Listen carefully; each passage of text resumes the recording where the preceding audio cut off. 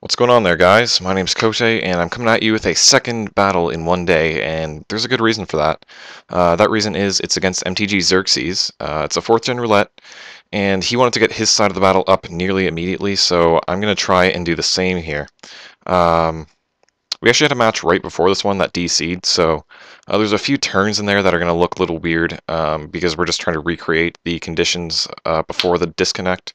So uh, I had this two hours ago, so it should be fresh in my memory what my thought process was and what I think his thought process was. So uh, we should uh, we should get some uh, a good quality video out of this. So he's going to lead off with a Lucario, and I've got a T-Tar. So immediately I think I'm thinking, crap, he's got close combat. He can do like anything he does is going to wreck my T-Tar. So I'm going to switch out into Starmie, and he actually predicts me and goes for a Crunch, um, which is a great play to not go for the stabs times 4 super effective right off the bat. Um, so that's going to get a defense drop on me, and in the original match he didn't get a D drop. I just went for a cover this turn, and he went for a Crunch. Uh, I found out that he's faster than me, so I'm keeping that in mind. He might be scarfed, but uh, this time, however, because of the D drop, he would probably one hit KO, KO me from there. So we decided to just skip that one turn of stall because nothing really happened.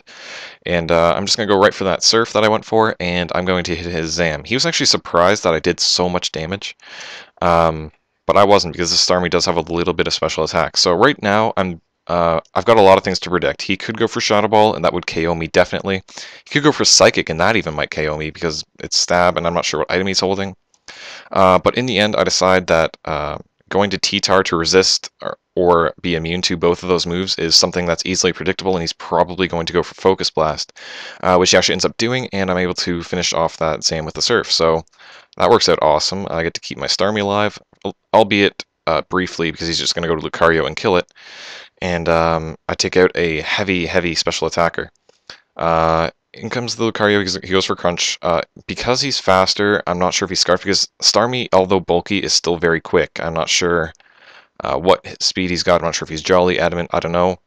But um, that's going to take me with the Crunch. However, I'm not going to, to risk the fact that he's Scarfed. I'm just going to go right to my Scarfer. And uh, I'm going to go right for a high jump kick, which would be stab, super effective. Probably one hit KO unless he's got a sash.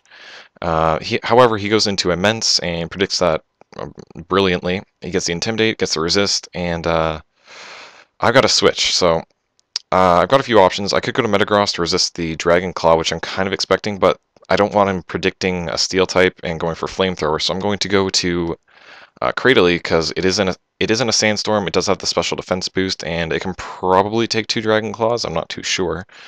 Uh, I do he did he did get a crit in the first running of this match, and he actually gets a crit in the exact same time in in the second playing here. So we both thought that was kind of funny. That's, that's actually the second time this happened to me in as many days, um, which is very very interesting. Um, you know, it's not every day that you see that happen. So right here, I'm going to. Uh, I've got a lot of things to predict. I could go for Stealth Rocks um, because I know I can live for another hit. Uh, I, in the end, I just decided to go for recover because I like I could probably live another hit. And I'm not sure what he wants to do, and if he switches, recovering is going to be a good play.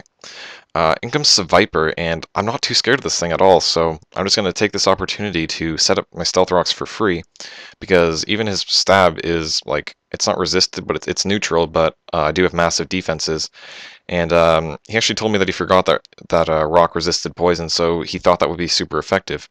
Um, so he's kind of face palming right now, and I'm kind of pretty happy because I got my rocks up. That's, that means he's going to take 25% coming back in. So um, he's not going to be able to just uh, go intimidate crazy on me. Uh, in comes this Weezing, and I'm just thinking to myself, crap, that thing's a physical wall. It's going to have Will-O-Wisp. Uh, and I'm looking at my guys, and I've got four purely physical attackers, and, and my T-Tar is mixed. So uh, getting burned is definitely not something I want to do. I hit him with one Stone Edge. It doesn't do a lot.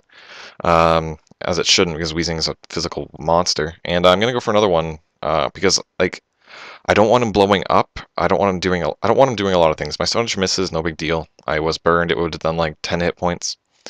And um, right now I'm thinking, well, he's done all he's gonna do. He's not gonna stick around, so I may as well see what he brings into because this Cradily at this point is already fodder. Um, it's burned. It got up rocks. Uh, it did a good job. Like I, I could maybe like stall some things uh, because they're not going to get lefties anymore because of the sand. And I could probably stall a few things, but that's about it. Uh, in comes Viper, and my second Stone Edge misses. Like, it wouldn't have killed it or anything, but it would have been some nice damage on that thing. if I end up having to stall it out. So, um, I, again, I'm not really too scared of this thing, so I think I'm just going to go for a recover just in case he wants to double switch and go to something else. I don't know. Uh, in all honesty, he probably should have went to Mence and just taken the time to set up on me. Like, if he sets up a dance against this thing, then it could be game over. Um, so I'm going to recover, get my HP back, and because I've seen his videos before, uh, I remember this guy. I know that it's scarfed. Um, call it call it cheap, but you know I know he's scarfed, so I'm going to go into my Metagross. Um, you know, I, I, don't think it's cheap. um, he, he's he could have seen all my guys if he watched my videos, so I think it's fair game. Uh, so the Metagross is immune to poison, and here I could set up an agility, but then again he does have Weezing, and I don't want to get burned, so I'm just going to right for a mash. Uh, it'll hurt whatever comes in, be it Mence, be it this thing, whatever. So I hit it with a mash, and uh, it's not going to quite take it out, but it'll take it down to a point where I can use pretty much whatever I move I want uh, and take it out.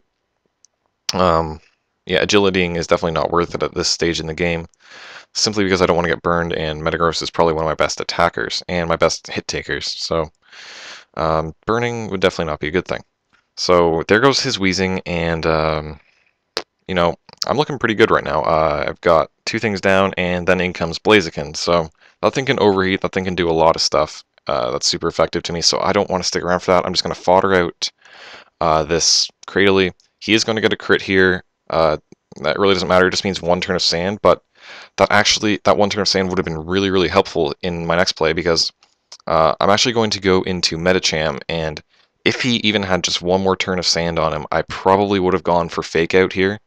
Um, my Medicham is scarfed with Fake Out. Um, it's meant for bluffing the fact that it's not scarfed. So if I have one more turn, I would have went for Fake Out here, and then um, I I wouldn't have had to win the speed tie because I asked him at like after the play like I'm adamant. So I thought he I actually thought he'd be faster. So I was going to you know let Medicham take the hit and then maybe go to Dodrio and hit him with a quick attack. That was kind of my my plan there. But uh, turns out I just flat out win the speed tie and um, yeah, I, it would have been a totally different game if he wins the speed tie, obviously. So uh, here he gets the Intimidate on me again, but this time it's not resisted. So I'm figuring, well, maybe his Zen Butt will take it out. Um, but then I, I, remember that Zen Headbutt is not the same base power as a high jump kick, so even with stab, it's not going to do. Uh, it's not going to quite take it out. And uh, I'm actually surprised that it hit all those in both games that we had. So uh, he sets up a DD, and now I'm thinking, well, crap, he he's he's got a roost right now, so I'm gonna switch Medicham out and go into my T-Tar here uh, because I do have Ice Beam if he wants to roost, um, and um, you know I was thinking if he doesn't roost, then he he'll probably kill my T-Tar, and then I can go back and Medicham and fake it out and kill it, but he actually does roost, and I'm thinking. This is going to be dicey. T-Tar pretty much has to live this hit, otherwise this Mence can sweep me because it's got Roost, it's got plus one speed and attack, and you know that thing that thing's going places if I do not live this hit. So uh, T-Tar is going down. You know, it takes a while because I didn't speed this up very much because I wanted to explain thought processes a little bit more. And oh my god, I lived barely at 15 hit points and I managed to get the ice beam off. That was that, that's play of the game. That's as clutch as you can get. T-Tar is just like Glaceon, just like a bus. What a monster. So uh, if he killed me, then I'm not really too sure what I would have done. Uh, plus one Earthquake would have taken out T um, Metagross, and I, I, honestly, Metagross can't exactly hurt it back. Uh, Dodrio could have come in and maybe, uh, I don't know, um, I, I guess I could have endured and then, you know, went for, got my Salac and maybe outsped and then maybe flailed. Uh, I'm not too sure. Um, but even then, that probably wouldn't have done too much. So, uh, in the end, I'm going to be able to pull it out. He, he takes out my T-Tar, but then I just go to Dodrio because he's stuck on Earthquake. I'm just going to go for Drill Peck and right here he decides to run because the game was lagging, and he wanted to let me get my verse recorder, which I thank him for, because if this DC'd, I would have been fairly upset. So um, I want to say thank you a ton to Xerxes for playing me. Um, it's definitely, it was it was an experience. Um, it's it's something, it's really something to, uh, you know, watch people for, like, a, year and then actually get the chance to play them. You, you just watch them be ultimate badasses all year long, and then your your chance arises, and it just it felt really good. So, um, I want to thank you all for watching. Like, I feel like Xerxes definitely deserved better in that match. He probably outplayed me a little bit, maybe kind of, and I got lucky with that speed tie.